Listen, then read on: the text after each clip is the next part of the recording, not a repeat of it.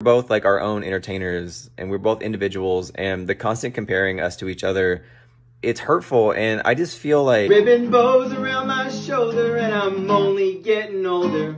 Mama don't make me put on the dress again.